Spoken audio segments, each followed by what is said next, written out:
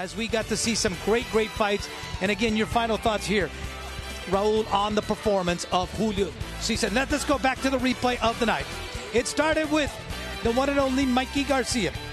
Mikey coming out taking on Rafael Guzman of Mexico and showing you his ability to go ahead and crack and toppling it. Also, Vanes Martirosyan, who was went down in the first round after a shot combination by Saul Roman, getting himself back up and slugging out, showing that he can come back after he was hurt, and in that way, stopping the fight and getting that particular win. There, there, two minutes 58 seconds of the seventh round.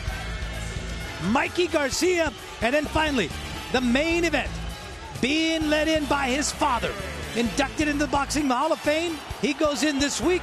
Julio Cesar Chavez Jr. taking on the pageant, the champion Sebastian Zbik, trying to make history to become the very first Mexican middleweight champion of the world.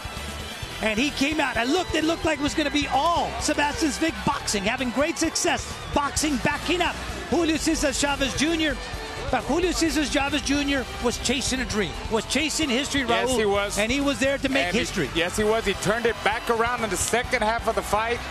Great conditioning again. Look, There he is. Look how confident he is. Arthur Gregorian in the corner right there of Sebastian Zbik urging on his fighter. But what an amazing change. It was the first five rounds I gave to Sebastian Zbik.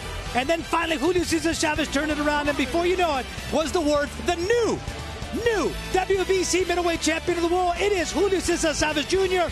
And he has made history tonight before your very eyes.